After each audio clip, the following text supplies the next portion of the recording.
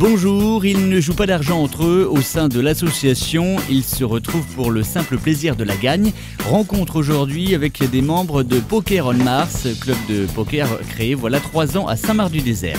On faisait des parties privées entre nous euh, et euh, on a voulu élargir un peu le cercle de joueurs et essayer de, connaître euh, d'autres personnes qui étaient prêts à jouer comme nous au poker.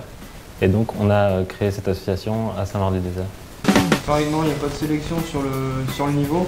Pareillement, on aime bien avoir des joueurs qui ont envie de progresser, mais le niveau de base n'est euh, pas important. Le poker, c'est pas, pas qu'un jeu de hasard, c'est aussi un jeu où on peut apprendre des techniques. S'il n'y avait pas cet esprit-là, euh, d'essayer de, connaître, euh, d'apprendre un peu les arcanes du jeu, ça, serait, un peu la foire.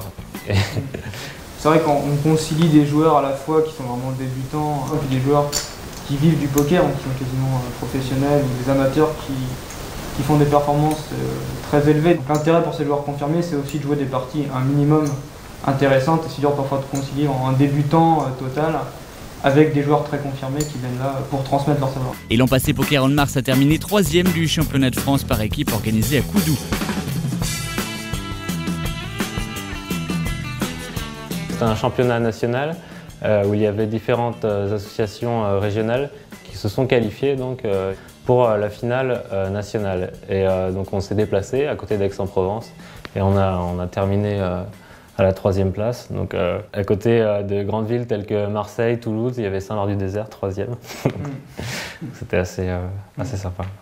En fait, à l'association, on ne joue strictement aucune mise en argent réel.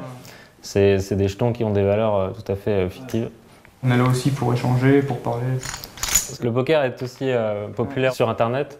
Et donc, euh, la différence avec euh, ce qu'on appelle le poker live, c'est qu'on peut rencontrer des gens vraiment, et donc ça, il y a un aspect social qui est, qui est, très fort. On va faire une partie tout ensemble, après on devient amis avec euh, tout chacun, et c'est ça vraiment le plaisir aussi d'être dans une association. Le club est à découvrir sur son site internet assopokeronmars.free.fr.